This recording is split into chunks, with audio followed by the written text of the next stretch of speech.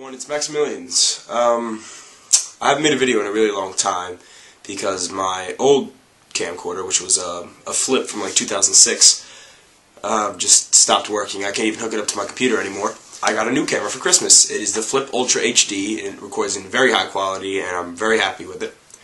Uh, now that you can see I don't have a lisp. I never had a lisp, but it sounds like it because my old camera was terrible. Uh, so if you go watch um, amazing super kick montage. It'll be right here. Uh, then you can compare my voice so you know I don't have a lisp. I'm going to start posting a lot of videos again, a lot of cool videos. So make sure you keep yourself updated on what I'm doing. And um, I'll see you guys later.